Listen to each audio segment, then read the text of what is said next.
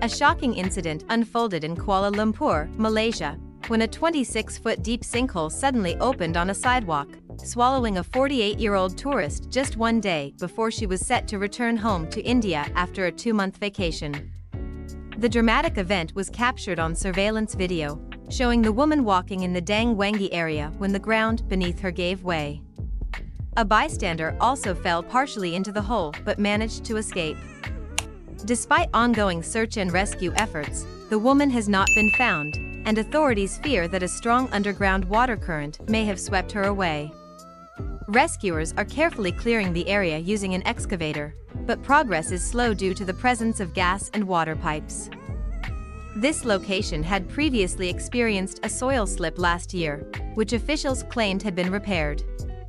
As a precaution, nearby businesses have been temporarily closed.